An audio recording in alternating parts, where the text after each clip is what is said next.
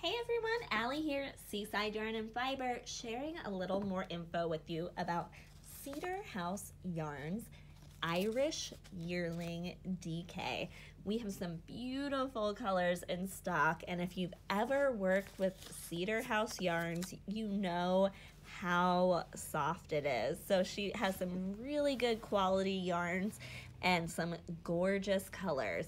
So this is hand dyed in Bellingham, Washington, again by Cedar House Yarns. The Irish Yearling DK is an 85% superwash merino with 15% nep.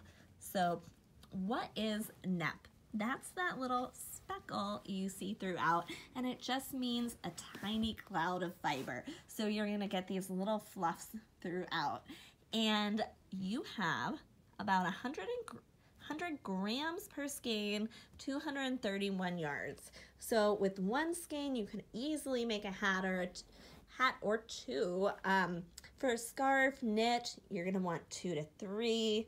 For crochet, I would recommend three. This would also make a gorgeous sweater. Again, it's hand dyed, so you're gonna want to make sure you grab everything you need for your project. Again, that's Irish Yearling DK by Cedar House Yarns.